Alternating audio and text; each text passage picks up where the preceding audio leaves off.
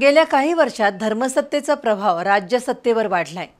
यातून धर्मनिरपेक्षतावाद समाजवाद विवेकवाद धोक्यात आलाय असं प्रतिपादन ज्येष्ठ विचारवंत डॉक्टर अशोक चौसाळकर यांनी केलं.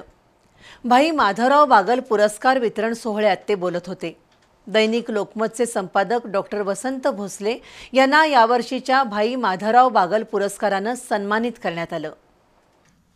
पुरोगामी विचारांचा प्रचार आणि प्रसार करणाऱ्या व्यक्ती आणि संस्थांना दरवर्षी भाई माधवराव बागल विद्यापीठाच्या वतीनं विशेष पुरस्कारानं सन्मानित करण्यात येतं.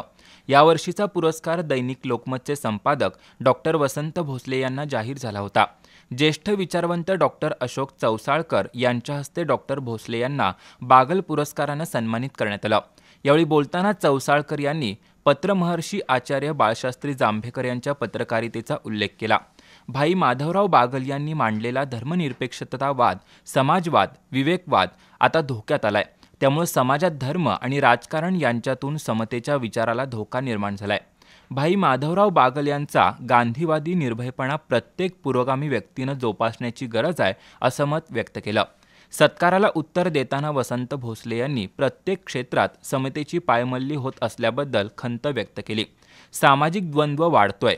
त्यामुळं बागल यांच्या विचारांचा जागर कोल्हापूरनं जोमानं करणं आवश्यक आहे असं त्यांनी सांगितलं. यावेळी सुरेश शिपूरकर बाळ पाटणकर अरुण नरके व्ही. बी. पाटील रवी जाधव तनुजा शिपूरकर व्यंकाप्पा भोसले उदय कुलकर्णी भारती पवार यांच्यासह मान्यवर उपस्थित होते.